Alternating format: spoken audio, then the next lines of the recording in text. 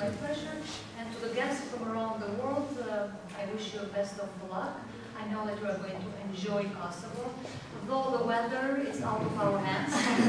uh, but still, you can do good things. And to the university, I congratulate you for a very good uh, idea and initiative, uh, because it's not only